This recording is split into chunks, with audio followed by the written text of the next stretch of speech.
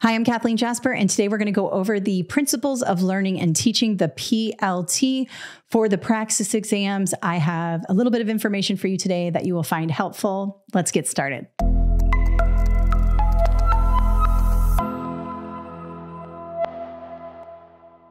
So, if you are a teacher who is getting certified in any one of the 36 states that uses the praxis exams, you will most likely be required to take the PLT, Principles of Learning and Teaching. Now, this is a professional teaching exam. It is going to assess some of the more general aspects of education. So, really quickly, typically, this isn't for every state, but typically, if you are trying to get certified as a teacher, you will take at least three exams. The first one is the Praxis Core. The second one is your subject area exam. So maybe the elementary education exam or the uh, math middle school exam, whatever your subject area is you're trying to teach. And then the third exam is the principles of learning and teaching. Now, if you are in a state that doesn't use Praxis, you still have a similar progression. You take a basic skills exam, which is like what the Praxis core is. You'll take your subject area exam, and then you'll take a test like like the PLT, like Texas calls it the PPR but it's a similar exam. If you look at the test specs and the blueprints, they are very, very similar and assess the same thing. So, regardless, this is going to help you today. I am going to focus on the praxis because that's my specialty. I do praxis exams. And the PLT is broken up in different ways. So, the PLT 5621 is the early childhood exam. So if you are trying to get certified in pre K through third grade, you would take the PLT 5621, early childhood. The K6 test, if you're trying to get certified in elementary school, the K6 PLT is called the 5622. The 5623 is the middle school exam, five through nine.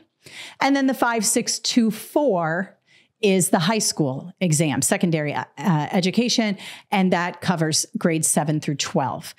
The thing is, though, is that this test really assesses all the same things you're just going to have some high school examples at the 5624 exam. You're going to have pre K 3 examples in the 5621, and so on and so forth. But the blueprint and specifications are pretty much identical.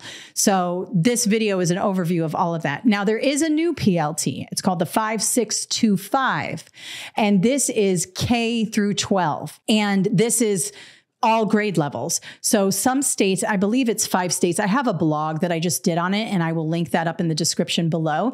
But some states have chosen to go with a K 12 just to make it easier, I am sure, um, because other states are using, you know, the different grade levels. It just depends on what state you're in. You need to check what you need based on your state. So I'm going to link up the test specifications in the description below so you can take a look at your specific test specifications.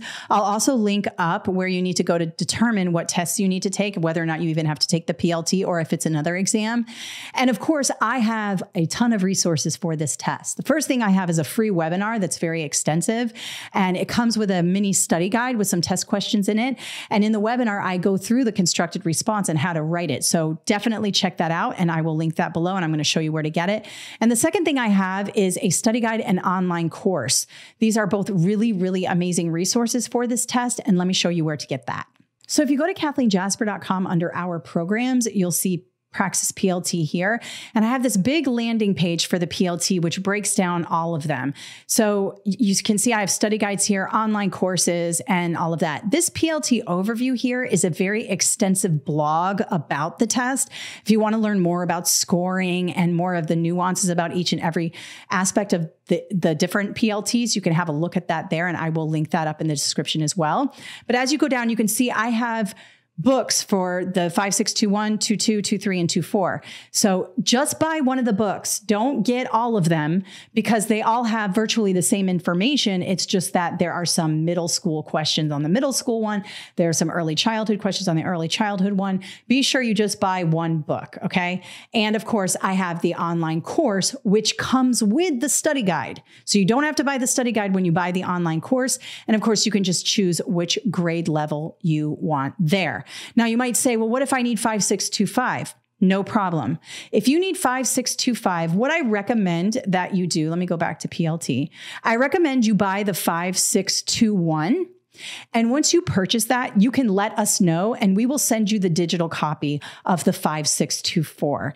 In that case, you will be covered K through 12 in this situation and um, you will be able to get all the information that you need. The same thing goes with the online course. If you decide, I want the online course, but I'm taking the 5625, go ahead and buy the 5622 and I will send you the study guide for the 5624 and you will be covered for all those.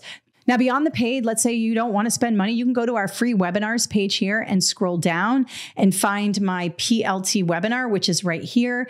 And if you click this, you just fill out this form. And when you do, You'll be taken to a thank you page and you will see that there's a webinar replay and a study guide.